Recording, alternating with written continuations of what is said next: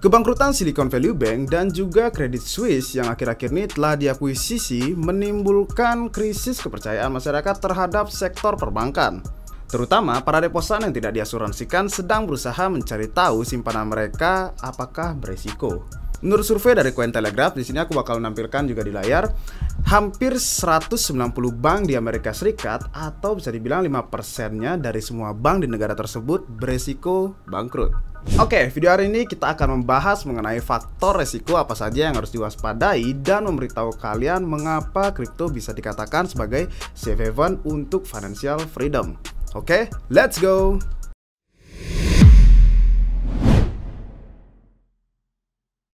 Selamat ulang tahun Pintu. Pintu sekarang sedang merayakan ulang tahunnya yang ketiga dengan mengadakan trading competition. Jadi ada kompetisi trading yang menghadirkan sampai 80 juta rupiah loh. Kalian pasti nggak mau udah ketinggalan tuh jumlahnya sedap banget. Ayo daftar sekarang juga karena besok adalah hari terakhir pendaftaran kompetisi ini. Langsung ke deskripsi video di bawah dan klik link formulir yang sudah kami sediakan. Di situ kalian langsung masukin data semuanya sesuai dengan akun pribadi kalian.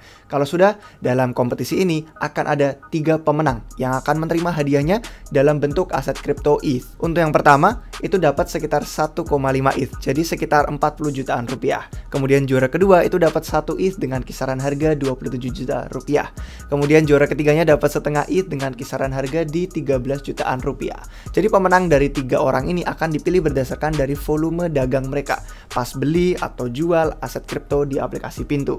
Nah, yang terbanyak selama periode 17 sampai 30 April 2023 itu menghitung dari semua token yang ada di aplikasi Pintu. Lebih dari 120 kripto sudah ada di sana. Itu semua memenuhi syarat untuk trading kompetisi ini. Kalau udah daftar di formulir yang tadi, kalian langsung termasuk di kompetisi. Langsung aja tinggal beli dan jual aset kripto selama periode waktu tadi. Nanti volume dagang kalian akan dilacak oleh Pintu sesuai jumlah terbanyaknya dalam rupiah. Nanti akan ada papan peringkat juga atau leaderboard untuk kalian bisa melihat dan melacak pengguna siapa aja nih yang berdagang paling banyak dengan keuntungan paling banyak dari setiap perdagangan pengguna. Syarat yang terpenting itu sebenarnya adalah akun kalian cuma tinggal verified aja. Kalau sudah verified, udah KYC, udah aman. Kalau misalkan masih belum punya akun, bisa cek deskripsi di bawah ini. Ada link untuk kalian download aplikasi Pintu sama sign up juga biar punya akun di Pintu. Nah, daftar formulirnya yang tadi juga jangan lupa karena kalau mau ikut kompetisi harus daftar formulir. Setelah itu nanti kompetisi mulai tanggal 17 April, selesai tanggal 30 April 2023. Semua token di pintu yang lebih dari 120 tadi udah termasuk bisa kalian perdagangkan di kompetisi dan pemenang dipilih berdasarkan volume dagang dengan skema hadiah di layar yang sudah kami jelaskan satu persatu tadi. Pemenangnya akan diumumin pada tanggal 3 Mei nanti 2023 lewat story dari Instagram, Twitter, pintu. Jadi pastikan dua-duanya itu akun resmi. Yang Instagram itu resmi pintu, yang Twitter juga akun resminya pintu. Kemudian hadiah akan didistribusikan langsung ke akun masing-masing pengguna yang menang pada tanggal 10 Mei 2023. Nanti pajak hadiah ditanggung oleh masing-masing pemenang sendiri. Tunggu apa lagi sih guys? Kalau kalian mau merayakan ulang tahun ketiganya pintu, selamat ulang tahun sekali lagi pintu. Ayo ikutan trading kompetisi ini dengan mendaftarkan diri sekarang juga. Buruan guys, pokoknya besok itu ada hari terakhir untuk kalian daftarin ke formulir. Jadi cek semua link yang sudah kami sebutkan di atas tadi di bawah deskripsi di video ini.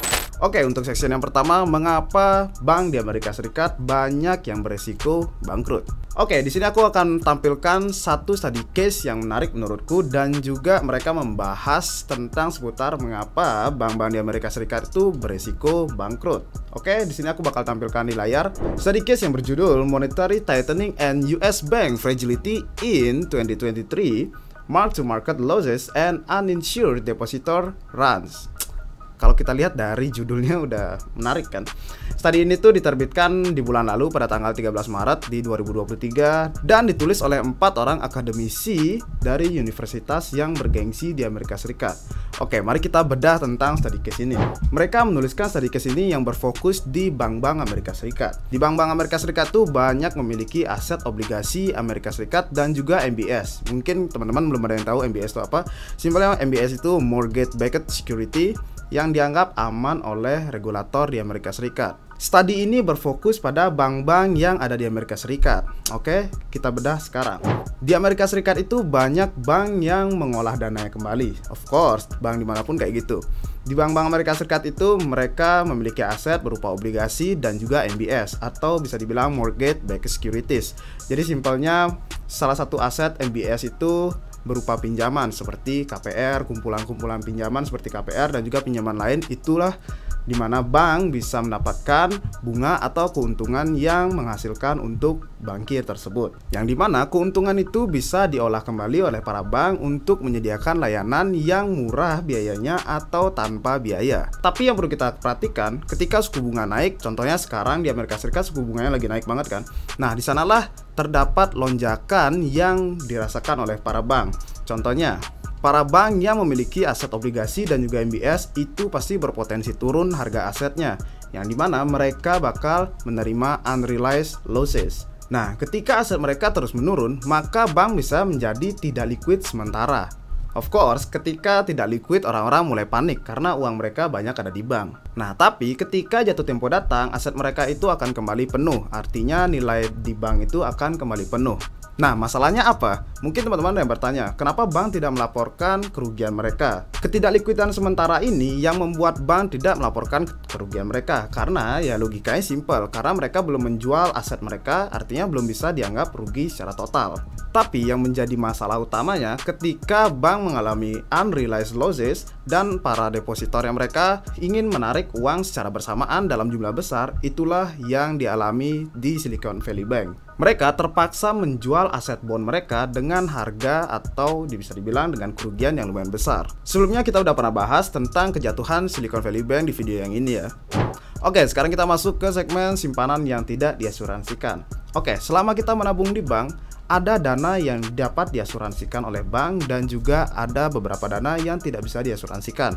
Contohnya, sekitar 50% dari total simpanan di Bank Amerika Serikat atau senilai 9 triliun dolar tidak diasuransikan. Nah, dari sisa yang tidak diasuransikan tersebut, 50%-nya lagi itu bakal diolah oleh bank, yang di mana mereka akan menginvestasikannya pada obligasi dan juga MBS tadi. Pada akhir 2022, bank-bank di Amerika Serikat ini memiliki kerugian yang sangat besar. Kalau kita melihat dari historical, ini yang paling besar guys. Kalau kita lihat dari kerugian unrealized loss-nya itu berada di 600 miliar dolar 600 lebih bahkan. Dan kerugian ini bisa meningkat seiring waktu kalau The Fed terus menaikkan suku bunga mereka. Oke, kalau kita melihat data tadi itu kerugian bank itu terjadi di tahun lalu yang sangat besar dibanding dengan krisis 2008. Oke, of course kalau kita naruh dana kita di bank tersebut, pasti kita akan panik dan kita ingin menyelamatkan dana kita juga secara cepat. Nah, di mana kalau sudah ada panic withdrawing itu akan menyebabkan bank diharuskan menjual aset mereka dan mengalami kebangkrutan seperti Silicon Valley Bank kemarin. Apalagi dana kalian tidak diasuransikan oleh bank tersebut. Pasti dong kalian ingin menyelamatkan dana kalian secara pribadi dan juga kalian ingin memutar uang kalian dengan instrumen investasi lainnya yang mendapatkan return yang lebih besar. Oke, sekarang kita melihat risiko bank run di mana ketika orang-orang mendengar isu negatif tentang bank yang mengalami unrealized losses atau kerugian sementara dan ekonomi sedang melambat, inflasi tinggi, orang-orang ingin mengamankan dana mereka dan memutarkan dana mereka dengan instrumen investasi lainnya yang mendapatkan return lebih besar, di sanalah panic withdrawing dimulai. Apalagi ketika suku bunga dinaikkan, para bank itu belum tentu sanggup untuk menaikkan suku bunga mereka juga terutama suku bunga di tabungan, bukan pinjaman. Maka dari itu, orang-orang ingin memindahkan dana mereka ke di mana yang menawarkan suku bunga yang lebih tinggi. Apalagi ditambah para bank tersebut belum tentu bisa menyediakan atau memberikan interest rate sesuai standar dari The Fed. Ya, contohnya uh, ketika The Fed menaikkan suku bunga, para bank itu belum tentu bisa memberikan standar bunga yang tinggi untuk para deposannya mereka. Ya, otomatis orang-orang yang sudah deposit di bank tersebut ingin juga menarik dana mereka atau memindahkan dana mereka ke instrumen investasi atau ke bank lain yang menawarkan suku bunga lebih besar.